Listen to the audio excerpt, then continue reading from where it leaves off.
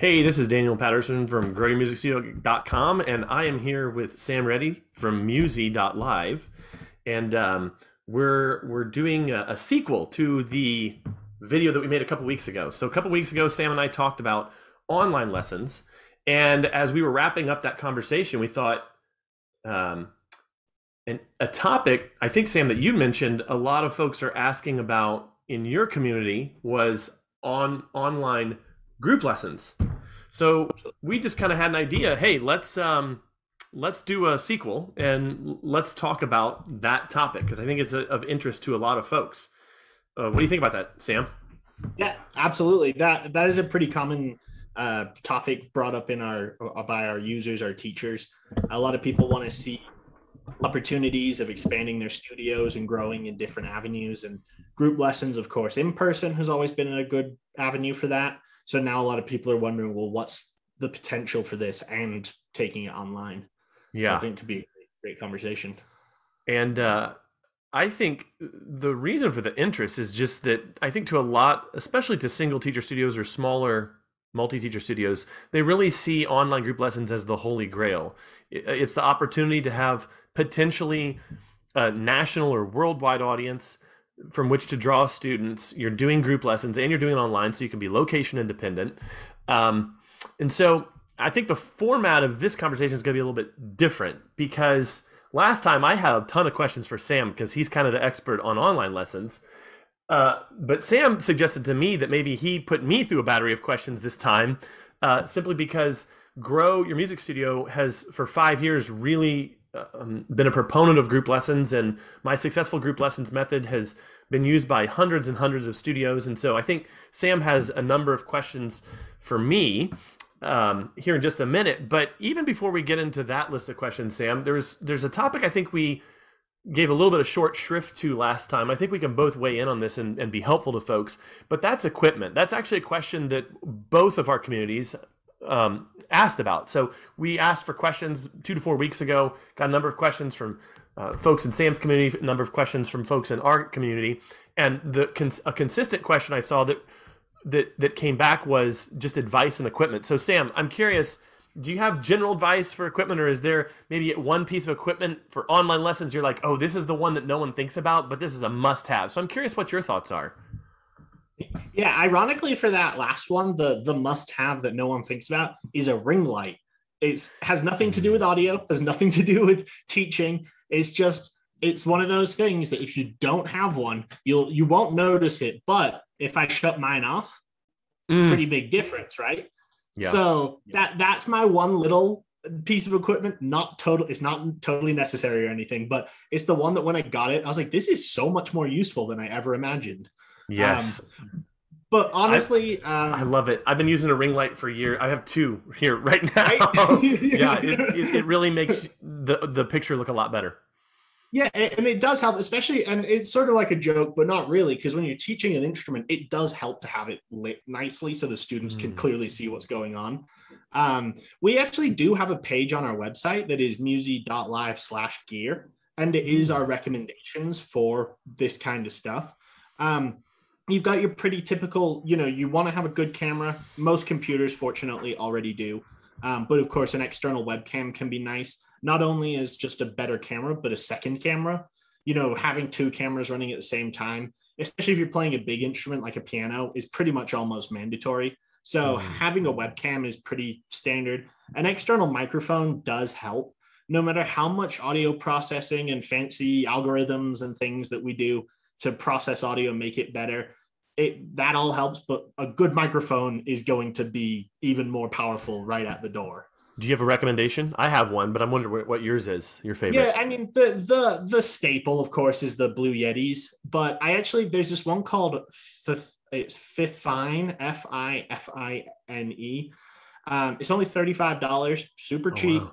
super low key, just a USB microphone plugged right into your computer. Hmm. Really good quality, really easy to use. No plugins, no downloads, nothing. Just plug it in and it works.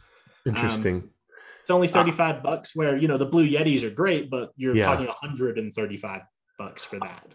I use uh, the blue snowball. Nice, right? Yeah, yeah, snowball. And it's a good one as well. I have had this for seven, eight years. I can't remember what it cost, but I know it was Yeah. under a hundred dollars. Yeah, and those are all great. There's a really They're cool good. one too that Audio Technica makes. Yes. It's both a USB microphone and an XLR microphone. So I'm a big fan of that one because you could obviously you can use it in your studio setup for traditional recording use cases. But then if you want a really quick, easy USB microphone, you just plug it into your laptop. So that kind of stuff is useful. One of the other things that I suggest people um, try out, or if they're interested, is uh, digital writing pads. So digital writing pads are basically like a plastic pencil and a small square surface. They plug into your computer USB, no software or anything, but it takes over control of your mouse. So if you want to Mhm. write on a whiteboard or annotate a document or something, you can use these pencils to just write as if you're writing normally and it will transmit it to the screen. And there's a company called XP Pen. They make one for Hmm. 20 $25. Um, which is really good. And I use that in my whiteboard all the time. So if I'm trying to annotate something, instead of using my mouse to like terribly draw, I just use my pen and actually draw as if I'm normally drawing. So things like that I think are super helpful. Um, and then of course you could go crazy with audio interfaces. You know, if you wanted to do the whole microphone audio interface and all your gear wired through there, that's right. great but that's a little bit more involved. So that's not really, um, you know, that's not really the baseline. That's sort of taking it up to another level. Yes. Yeah. No, that's great. I think the only thing I would add to that, you mentioned you had a gear page on the Musi site.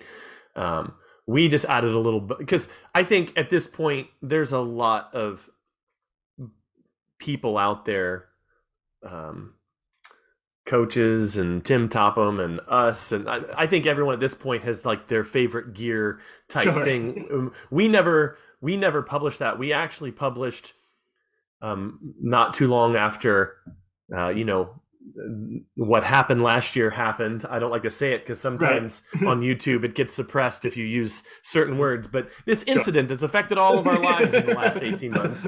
Um, not long after that, we published actually a roundup post of 20 or so different blogs or videos made by uh, you know people in our industry who you Oh, know cool. Joy Morin, Tim Topham, that sort of thing. Um, and, and some of that included like gear to buy, and even in our successful group lessons training, we have we we added a whole section about how to do online group lessons in that training. Oh, neat. Um, and one of the things that we put in there um, was kind of a community roundup from the 300 or so alumni we have in that training of that training of the the various gear and things that they bought. But I think the number one thing that I saw people getting that I thought was a little bit unusual um, that would differentiate from regular online lessons. So a differentiation from online just traditional online lessons to online group lessons was some teachers bought multiple tablets Mhm. so that they could have one um, tablet per child in their online group lesson and uh, so that they weren't having to bounce between breakout rooms and things of that nature and um, you know those teachers uh, really enjoyed that because they they felt that they weren't having to interface with the technology so much it was really just about uh, you know being able to see that child on that particular screen so i thought that was kind of cool It's like Um, almost those little robot carts that move around with like the iPad Yeah. in space. Just got Yes. Full of those instead. yes there was um there was a show on nbc called community and they actually had an episode where they did that um now that's been like six years ago but right. i know That- exactly what you're talking though. about yeah it really would be um cool well so i think i think that's a good place to end kind of the the the um equipment discussion so now i'm on the hot seat so i think Yeah.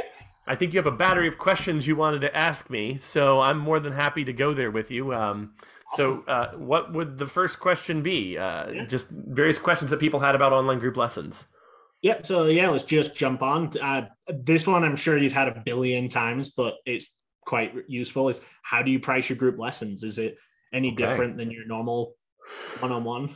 the rule of thumb that I give to people, whether it's online or in person, is it, it- well. First off, let me actually back up from there because before I can give the the principle, I kind of have to define some terms.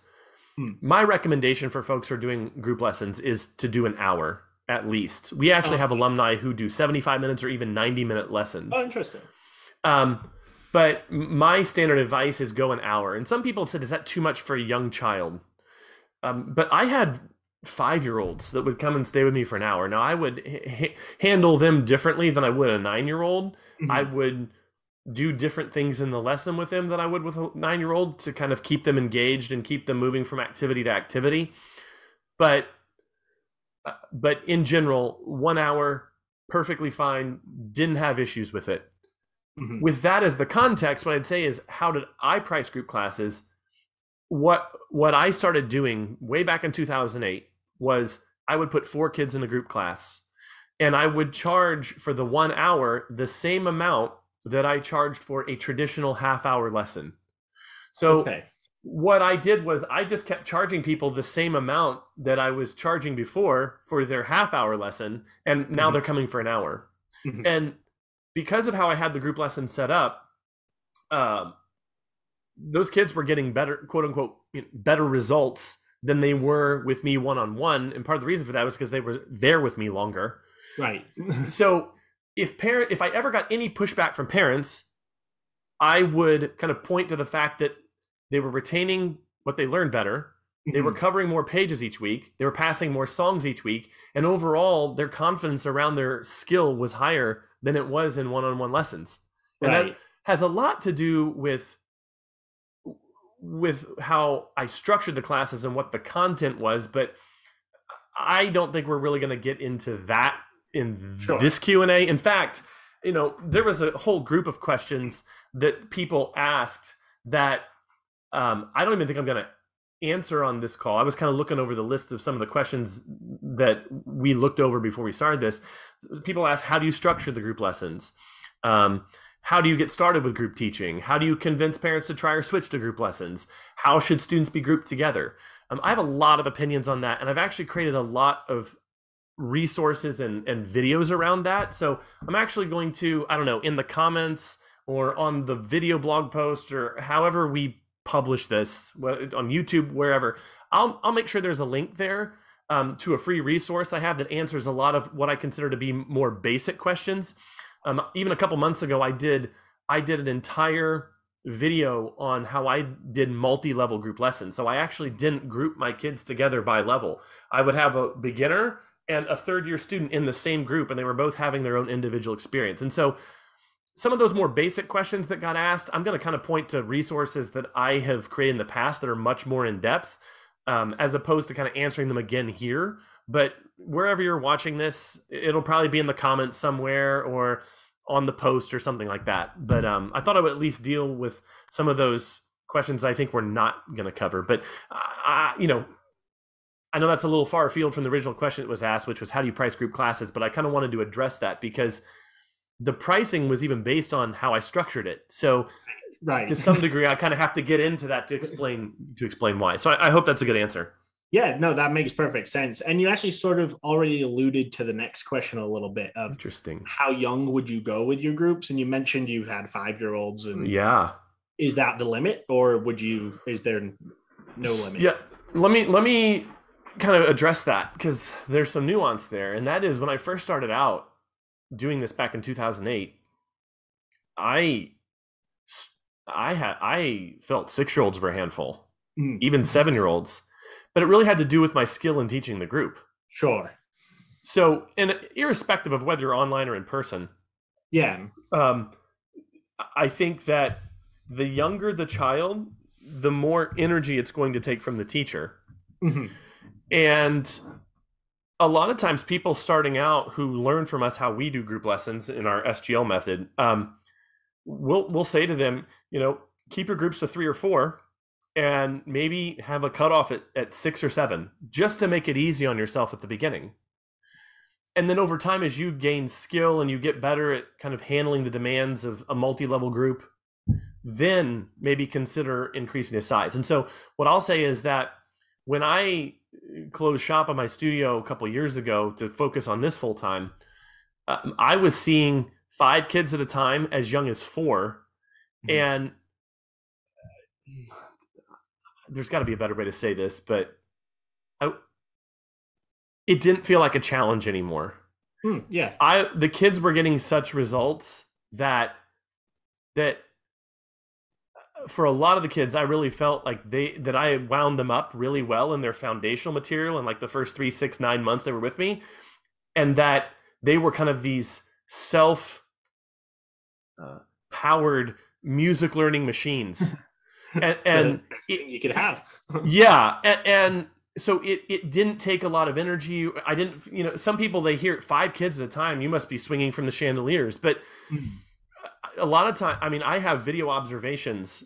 Uh, sometimes I would record the group class to uh, show other to train other teachers how to do it the way I did. I would record a group class, and you know, th- one of the comments I would frequently get back was I was surprised at how calm the environment was and I was surprised that a lot of times I just saw you standing in the middle of the room, kind of looking over the shoulder of the kids, monitoring them, but not having to do or say a lot. Now, how does that Right. translate to online group? Well, Mhm.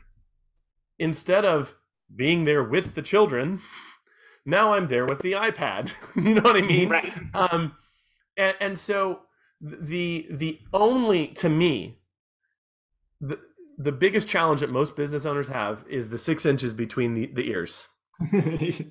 Um i- i- it's it's the thinking and and it's the assumption that there has to be all that things have to be so different. Mm, um, i think i've even heard you allude to this that yeah. that um, you know pe- people tend to overthink things.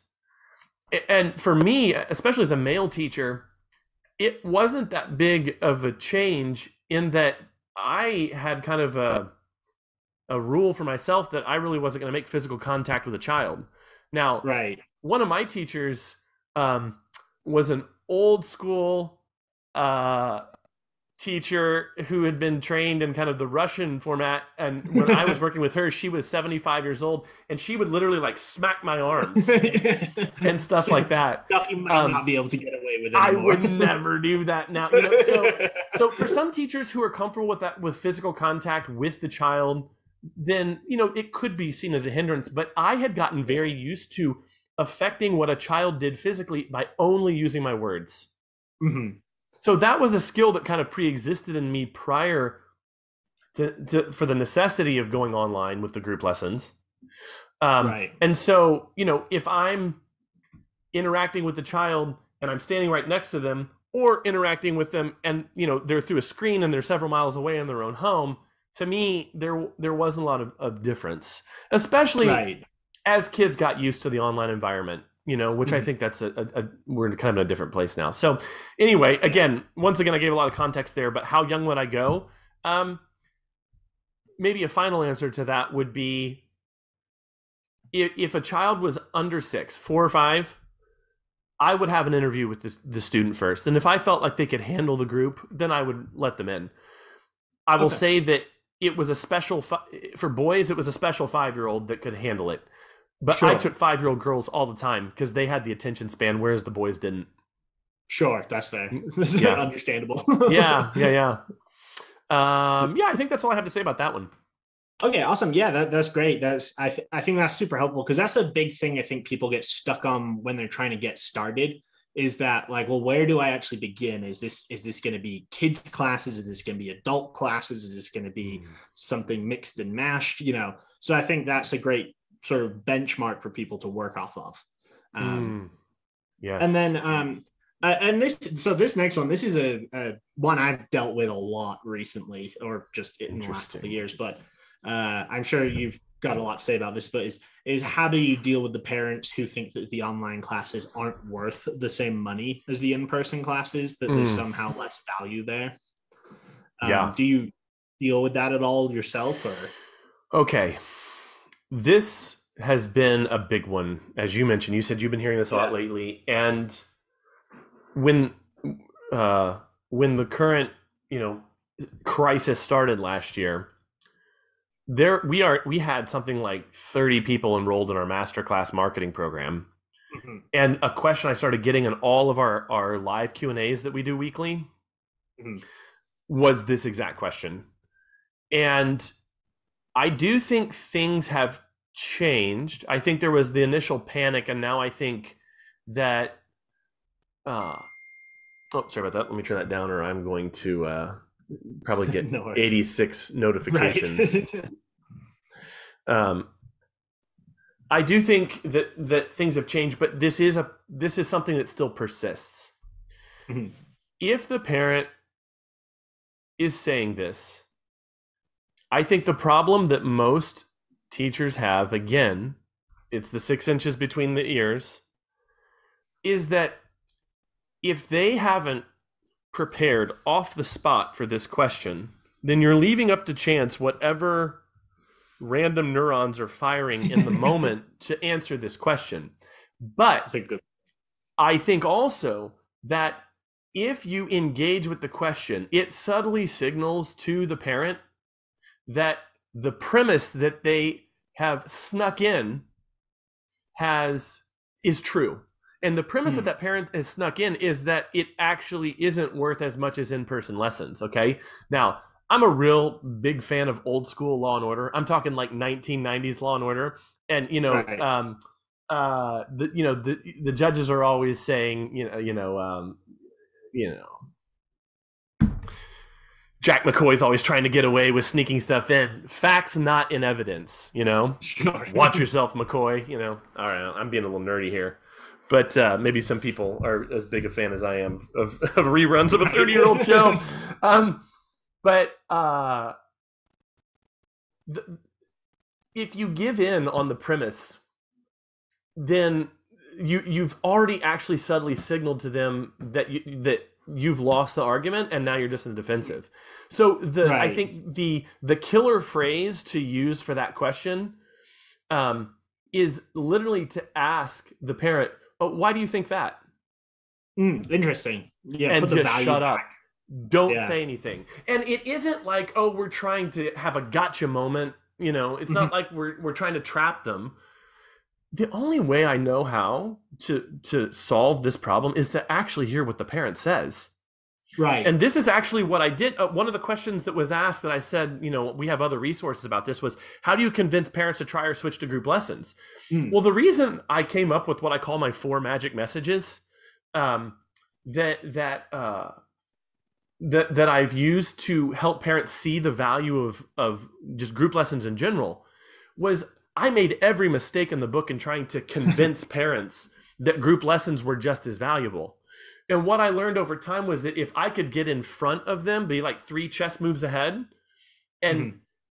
seed their thoughts with something else, that the questions then didn't even come up. And the same thing is true of the online group lessons. So you have to ask them that question, listen very carefully to what they have to say, and a lot of t- and a lot of times you will catch in in their response to you, you will catch the lie or Mhm. the half truth or the fear that that is causing them to ask that question but not knowing what a parent is going to say to you know hundreds or thousands of people that will watch this video i would say that if you can point to progress as a measure that things are just as good as they would be in person then of course it's valuable. Mhm. um, and then i think each teacher kind of has to come up also on their own like how, how do you even measure value in your studio? I, I think you have to ask this conversation with yourself. The truth of the matter is, is that 95% of business owners don't or or studio owners but i would say even Sure. business owners too aren't even sure how to defend their product against objections um, right. but I think just getting that information from the parent and then off the spot thoughtfully thinking about what the parent said and and beginning to understand logically oh well that that's just kind of irrational that's just an irrational fear now of course you can't say that but what you can Right. then do is start to find that message that inoculates um, your product against their fear Yeah, it's actually Yeah. similar. Like last time we talked, we had um, uh, a similar kind of situation around like should kids spend more time on their computer? yeah Right? It's sort of like the, the question, the the worry is misplaced almost. Um, it's not that they're actually worried about kids being on the computer longer in the day. They're worried about like the effectiveness and the the actual outcome of the quality of the lesson, right? So that's so like Mm. if teachers are if parents are asking is this even the same quality why you know is it the same quality is it the same price seems to be what they care about right are they yes. getting the same value for their money and like you said if you can prove that actionable you know with data that your students are actually progressing or that that this problem actually isn't really the problem they think it is yeah, I think you hmm. made it last time you said something like showing uh it was a good line. It was like something like showing them the the like the lie they're telling themselves or something yes. like that. Yeah. Um and, and that I think applies here too, is like sort of getting them to sort of become aware that the question doesn't actually make that much sense in itself. Yes. Yeah. Um one teacher even wrote in that one, uh, that a parent had brought up to them that they saw on the news, and she said she's mm. heard this more than once, uh, that kids can't learn online was, right. was something that several parents in this particular teacher's studio referenced like a, maybe they all watched the same news program right, or something yeah, some article or something um, and and then now they're repeating parents are repeating that to teachers so again i think in a panic you can ass- oh well now i have to defend this the world is conspiring against me. Now I have to defend this. But again, if you jump to that and just assume what they're saying it's true, then you've lost. You have to right. show leadership. And I think, again, the way to show leadership is to humbly ask questions. And the thing that I would say to that, not in a panic, would be, oh, interesting. Did, did they say that kids can't learn music online or, or was it something else? Right. And you just begin to put that seed of doubt into the parent's mind. Um, and more importantly than even just that question is the it's the leadership that you're exhibiting it, it's the non-anxious presence that you're having which they will more than likely make the decision based on how you're presenting yourself or being than if you have like a data backed response you know, and yeah. and a, a double blind study that you can point to that oh you absolutely can. But you said a word there uh, maybe a couple minutes ago that I think would be a good way to end this question, and that is proof. Mm. And you had even mentioned um, off in a conversation that we had off camera about um, um, unique things that teachers are doing. I don't want to steal your thunder because I think we have a question coming up where you're going to reference this, but unique things that teachers are doing to build community in their studio. Mm-hmm. Um, and that's around like performances and yeah. some teachers even splicing multiple kids togetyou things of that nature. Um, you can point to video evidence like, oh, hey, all these kids are seeming to be doing just fine. you know, um, but you know if, if, you keep running into the same objection over and over again and all and i'm not saying that anyone here who's watching this has done this surely not but if you keep running into the same objection all the time and all you do is complain about it and not find a way to inoculate against it then you know you're just in for a long battle but yeah you know one of the things i did with group lessons was try to find a way to to demonstrate to parents proof you know um, you can't get much better than video proof. And right. you know, we all have these things now. There's absolutely no reason yeah. why you can't uh, shoot 1080p video of students um, doing really, really well. Now, of course, I know Zoom doesn't have the capability to do 1080p, and I know Musi's video quality is probably better. But um, but uh, I, I I do think that um, I, I do think that being able to point towards specific case studies in your studio is going to be really really helpful yeah that and that i think yeah. is important what you just said the, the the differentiator was case studies in your studio yeah not just case studies like we were saying a second ago not just some double blind study that proves online learning works but actually showing kids that you've worked with that have actually progressed kind of like a body tra- fitness trainer you know when mm. if you mm. don't see any photos of like client progress on their yeah. website, then you're probably you're like, okay, well, I, I can't trust this guy actually knows what he's doing. So I, I see music is exactly the same. You'd want to have an example of a kid early on in their lessons, and then an example for that same kid further down the line, and showing how they're actually progressing. Um, mm. I think that kind of outfacing stuff is super important, just in general. Um, yeah, And, and I think it just shows proactivity. And I think this is where maybe I'll ask you a question because I, I was touching on it a bit there, and there were some comments that you made in a conversation we had separately that were really interesting to me. Um, but I think it leans into this because more than just being defensive, how do we exhibit value? How do we demonstrate value to a family that might be inquiring or a current family who were trying to get to go into online group lessons or in, into online lessons in general? Um, and a question that came up in some of the questions that were sent in to us was um, how do you foster community with online group classes? Um, Mhm. And I know with you kind of being the online lesson expert, and just from what I know about teaching, you know, group and online group, um, there there isn't really a big differentiator in how um, one would foster that community in the studio, even though there it's it's not in person. So I'm curious what thoughts you have around Yeah. fostering community in, in online lessons or online group lessons. Yeah, absolutely. And um, I, yeah, I, I think that like we kind of alluded to earlier in this conversation, is the the overthinking part comes into play a lot here. Is as if you need to do something different because you're online. Where Hmm.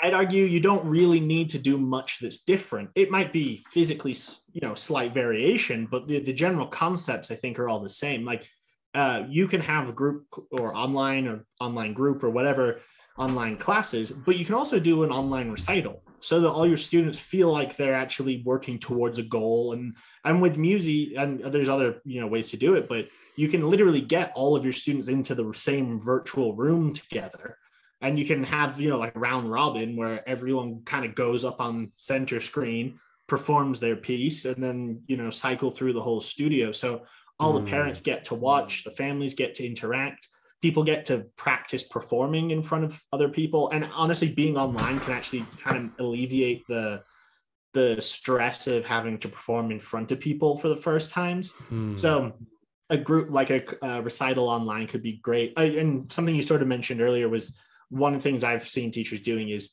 doing like round inside the class, doing like a round robin where the teacher might record something and then have every other kid go around and like play along with it or record along with it and then splice that all together cool. into a recording. So there's it's all the same things that you would be doing in a normal class. Um, games and interactive activities and things like that. You know, if you're using like an interactive whiteboard, all of the kids can play the games together at the same time.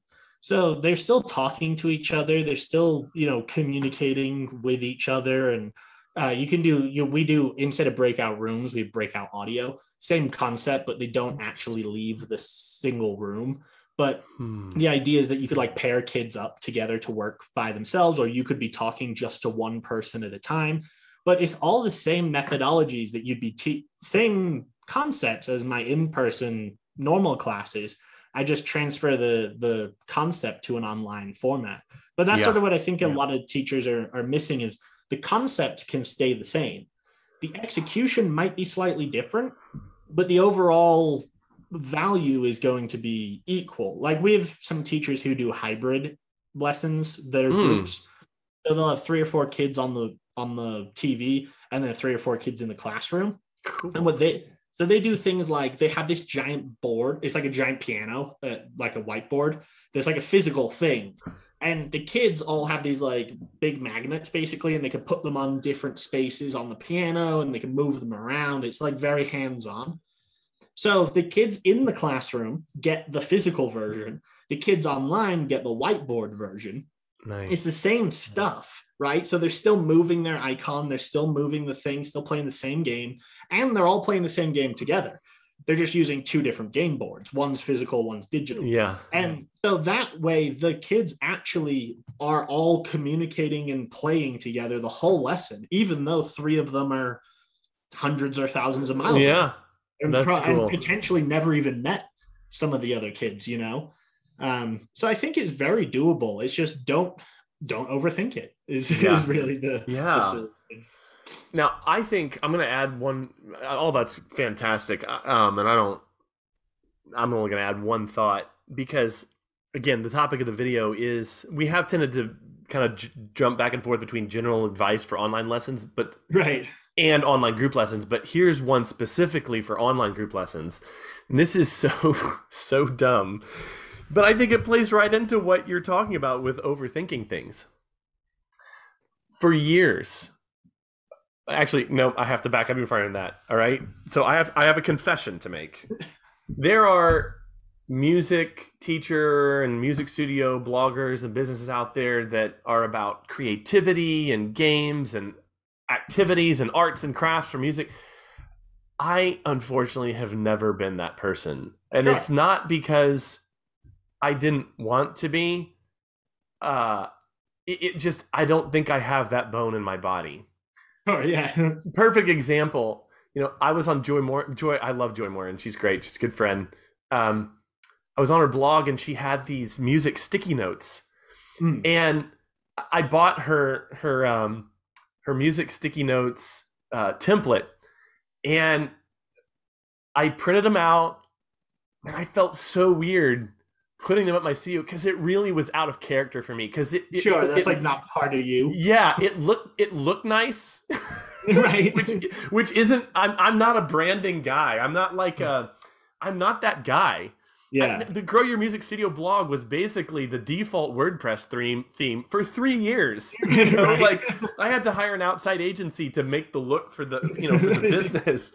that's fair. So I'm not that guy. The point I'm getting at is that I was never that guy that that teacher that could come up with all these amazing activities for things for kids to do. But I invented something called Music Hangman.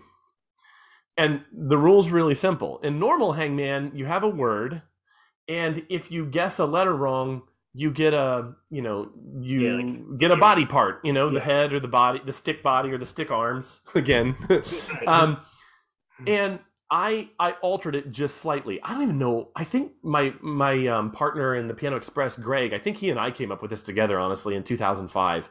Um, but instead of you getting a body part for getting the letter wrong, you I would have music flashcards, and if Hmm. they got the flashcard wrong, they would get the body part. And so it was the class against me, and it, you know, um, I would. I'd play a version of myself. I'd play like a hyped up character almost. Sure. Like so every time they got a right card, I'd be like, "Oh, I can't believe you got another right answer. I'm trying to I'm trying to make you guys lose." Yeah. Um, or uh, one time, a child pointed out to me that hanging a man was actually kind of mean, so we started hanging spiders instead. So it was even more ridiculous because there would be the body and then eight legs to go. like So of eight course, the kids, the kids wouldn't miss that many. The kids wouldn't miss that many. right? Yeah, They They're might only missing- miss one per game yeah. so they would always get it right. Anyway, I had this one. I was this one trick pony teacher. I had this one game, yeah. and I would have four kids in the group. Or you know, in those early years, I only had four kids in the group, and I kid you not, every single week. Even the preteens and and the young teenagers, like 13, 14, would come in and they would ask if we were going to play that game that day. Because every once in a while, I wouldn't get all my educational objectives covered, and we wouldn't do it. And Right. those kids, every those kids asked for. I'm not. I'm not exaggerating. For years, Yeah. weekly, if they could play that game, they loved playing that game. As stupid as it was. Yep. Um, this is something you can easily do online. Oh, Pull easy. the whiteboard up. Make we your- got you them all know- preloaded. Exactly. yeah. Um, and a lot of times I would I would either put a nonsense phrase there or I would put like a musical term, but most of the time I would just make the mo- put the most nonsense phrases as the thing to guess. Like sometimes if I do it at the end of the class, the phrase would be "get out of here." yeah, right. so the kids would get it. I was like, "Okay, guys, get out of here. I don't want to see it anymore." Okay, bye. yep, you know, like, and they were like, you know, they couldn't believe that the adult was being goofy. Anyway, Right. so something even as simple as that can build a lot of community amongst the students. Um, and I Yeah. would see students, you know, I, I ran a pretty tight ship in terms of my group lessons, either online or in person. Um, if kids, when they were in practice mode, it was pretty quiet in that room. Mm. But when it came for game time, the kids would get you know they'd start talking to each other and, and, Yeah. and it would build things and i wouldn't stop them you know it was a time to let loose a little bit out. You know they've been in school all day and, and i want Right. to have fun and the thing. So i think that's a good way just even that very specific example of one dumb game that i just did over and over again. I thought hey the kids still like it. I guess i'm just going to keep riding this pony until it falls over. And it never did. It Yep. never did So anyway, that that's probably a little too much detail. So maybe we should move on. No, no, I think that's you have something to add. That's that is exactly it. Is to it's do, and I think you're actually alluding to a more important point. That it is Ooh. that do what works for your teaching style too. yeah. So, like we were saying, don't overthink it, but also don't reinvent yourself. Like, if you're not a game, per- don't include games into your Sure. teaching. You know, that's not gonna that's not gonna work for you if all of a sudden you're not only online and teaching groups, but now you're implementing things you've never even done before in normal lessons. And now, you know, that's where I think people were getting a little overwhelmed was the like Mm. the stacking factor of this plus Yeah. this plus this. Yeah. Um, but I, yeah, I think you're dead on with that one. Um, I think we have a couple questions left here. Uh, what's Yeah. the next one? um, so this, um, I think we can we sort of covered that one. Uh, this I just sort of want to put a point to that is I whenever the broadcaster one where you're saying that uh, parents hear like on the news this doesn't work or that doesn't work. I'd, I'd just I'd love to read some of those studies and see what it is they're actually quoting. Yes. I find Yeah. that stuff very because I hear it a lot, but a lot of the time, like you said, if you poke a couple of holes in it, it usually falls apart pretty quickly. Yeah. Um, And then if you back that up with just good messaging and marketing, it's like the one-two punch. You, Yeah. punch holes in the in the uh, in in the offense, and then you have some offense of your own. yep, absolutely. Yeah. That's, that's absolutely, uh, you know, vital. Um, just kind of skipping um, down a second to one of the the questions, because I th- think this is these two sort of kind of go not quite hand in hand, but close. And I'd love to get your thought if uh, Hmm. should you have a separate site for your online lessons, and how do you stand out online other when other people are competing in those? Um, I think we probably both go back and forth on this for a bit, but I'd love to. This is sort of more of your how do you outface this side of your business? So how Sure. okay, so I want to teach group lessons. Okay, I've got this, I've got the materials, I've got the training. Now, how do I actually present this as an option to my potential clients? So I think, well, again, I think there's some presuppositions here. If you are entirely online, Mm, then I think this question's probably moot for most teachers. If they're entirely online. If they're doing both online group lessons, online one on one lessons, in person group, in person one on one. My, I think the advice is pretty simple. I don't even know if I have much to elaborate on here, but I think it all stays on one site. Mhm. And I think that you present it as its own unique program that you have created a thoughtful page for. So, you know, you have your homepage. Perhaps on your homepage, you have the various offerings that your studio has. Mhm. Um, and they can click to learn more, both maybe on the homepage and in the menu. And my one recommendation would be don't don't lead with the online thing. I Mm, think that is what can cause some of those early anxieties in parents. I think you just mention the the strength of the program and and this is gen- this is advice I give not only for online lessons in general or online group lessons and group lessons. I mean, it's all the same. You lead with the program and the results that the program provides for the client mm, the format doesn't matter. Um, so put your best foot forward. You know, and we have marketing trainings where we talk about how to create amazing lesson description pages and things of that nature.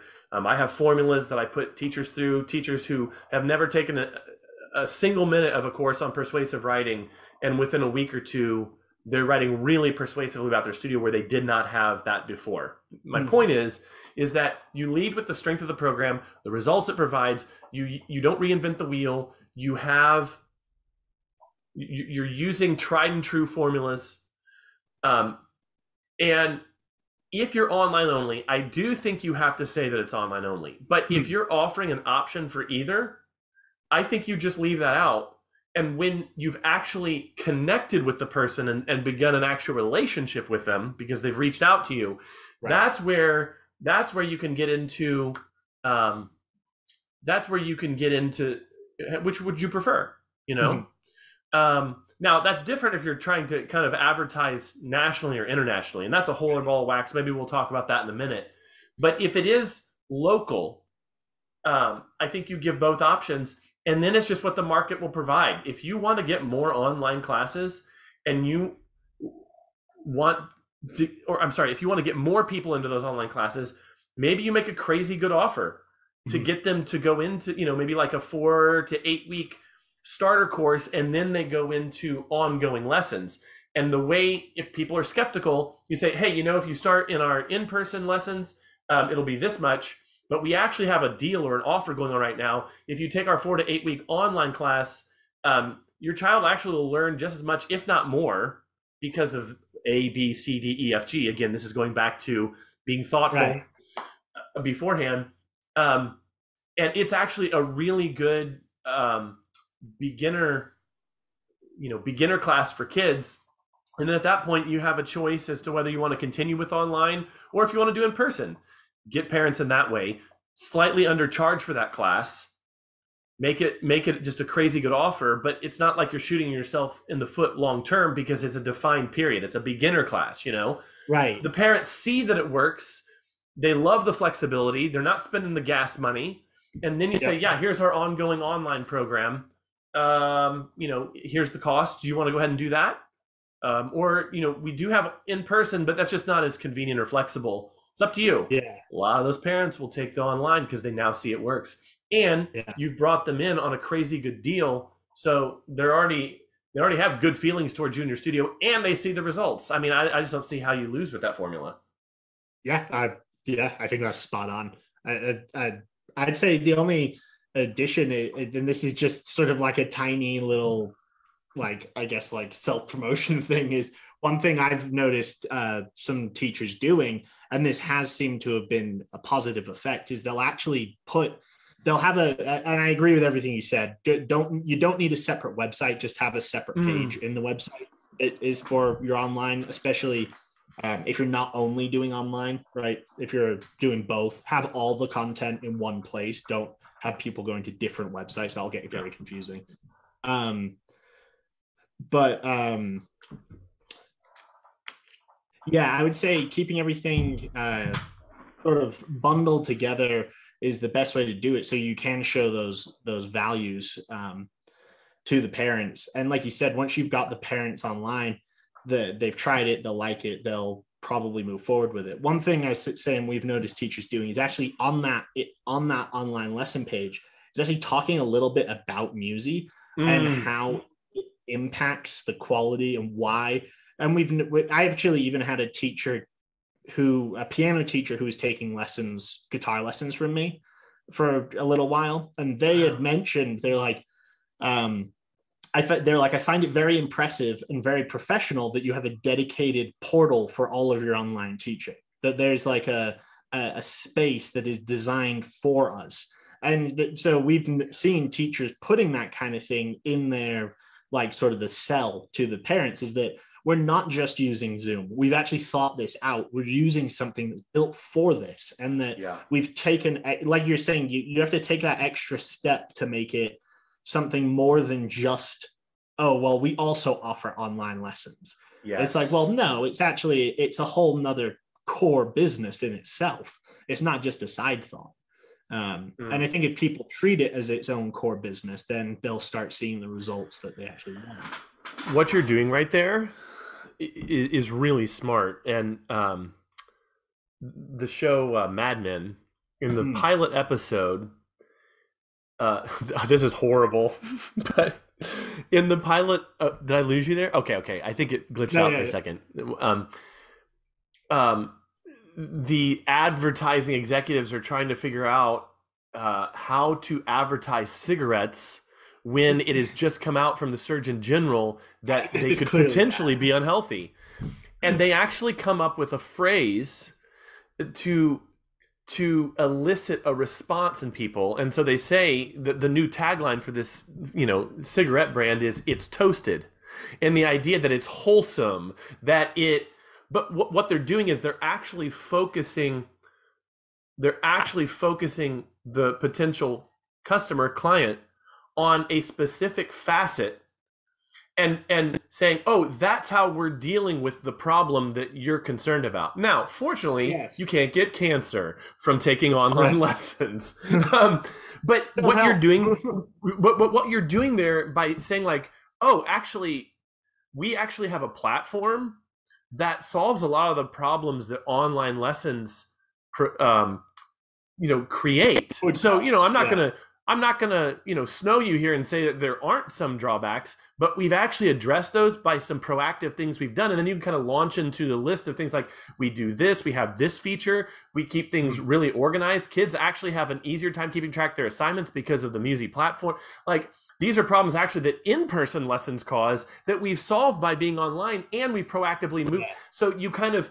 by having like a, a concept they can focus on it's toasted or we use Musi um, Yeah.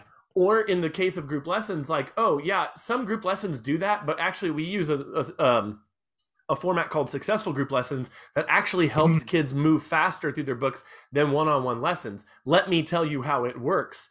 This is a way to kind of direct and focus the potential clients or current clients uh, attention and and kind of address those things and kind of load their anxieties into a container and say oh we've dealt with it here inside this container yeah.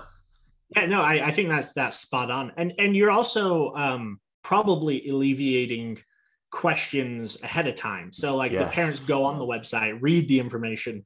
When they come to you, now it's not so much of the why are the are these worth the money or you know it's now more of like oh that sounds really interesting like what tell me more what is this like Mm. how does this work and one sort of tag on that that I just think is super important just to mention is that hybrid is is really the place I see that most studios are going to land.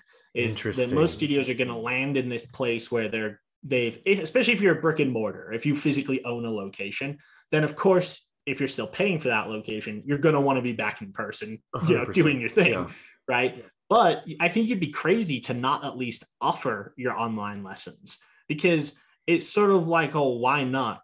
Like, why wouldn't you have that avenue available when it really it takes no skin off your back to be able to, if anything, it's easier technically for a teacher just to sit at a laptop for an hour than it is to be moving around the classroom. So it's one of those where I see, regardless of whether or not online lessons is your thing or it's the main focus of your business or or and group lessons is that it's this is is going to be a part it's just a part of what's going to be the new like i would expect to see more studios in the next five years offering all options online in person group and individual for both. 100% you know i just Here's an- it's the way it's oh go ahead go ahead. No yeah just say i think that's the way it's going.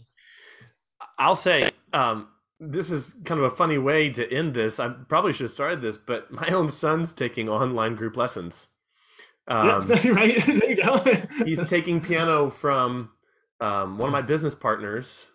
Um, and in fact, honestly, I don't know why I haven't brought this up already, but we have a software that's coming out next year, year that um, is designed to make online group lessons even easier for music teachers. And I, I did a, I did a, yeah, I did a, um, I did an interview back with Greg four years ago, and a lot of people found that interesting, but it, it really just wasn't ready yet at that time, and, and and and now's the time. But my son is kind of using this system and this format. Um, it's a little more sophisticated than than what I did in SGL, um, but uh, but yeah. Uh, th- this is an this is an easy thing for me to talk about and believe in because right because you're, my you're own son is doing it, you know, Yeah. um, and I see Yeah. how well it works. So, anyway, Sam, I think that might be a good place to to end. Yeah. Um, like I said, there's some other kind of general questions that people had about group that that really they weren't specifically about online. Um, they were really more just about group in general. So it could apply to online or in person. And like I said, uh, somewhere in the post here, I'll have a link to a, a free resource that I've or some free resources that I've created around um, a, around that topic. And I think there's a lot of good information there. Someone could really go down the rabbit hole um, in terms of all the stuff we've put out over the years on that. But um, hey, thanks. I know you're busy you're running a company Yeah, the way you are. awesome. Um, th- thanks for taking the time out, and uh, we'll see where uh, when we can meet again to talk about some more stuff. Sounds good.